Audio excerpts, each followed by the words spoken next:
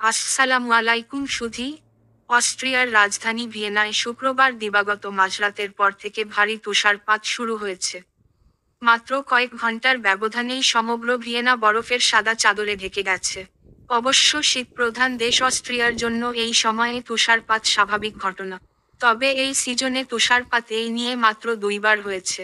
আপনারা ইতিমধ্যেই euro, Bangla, Times সহ বিভিন্ন দৈনিক পত্রিকার সংবাদের মাধ্যমে অবগত হয়েছেন যে বর্তমানে অস্ট্রিয়ার উপর দিয়ে চলমান শৈত্য প্রবাহ সপ্তাহান্তে রাজধানী ভিয়েনাতেও তুষারপাত নিয়ে আসছে। আজ শনিবার সকালের প্রথম প্রহরে ভিয়েনার তাপমাত্রা শূন্য ডিগ্রি সেলসিয়াস হলেও দিনের বেলায় তাপমাত্রা মাইনাস এক থেকে দুই ডিগ্রি সেলসিয়াসে নেমে আসতে পারে বলে আবহাওয়ার পূর্বাভাসে জানানো হয়েছে।